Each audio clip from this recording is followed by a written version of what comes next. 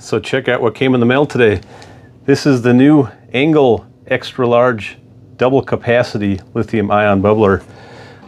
And yeah, you can definitely tell there's double the output on there.